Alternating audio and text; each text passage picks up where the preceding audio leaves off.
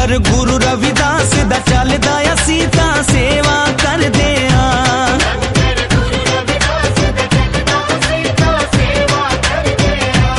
लंगर, गुरु रविदास दा दया सीता सेवा कर दे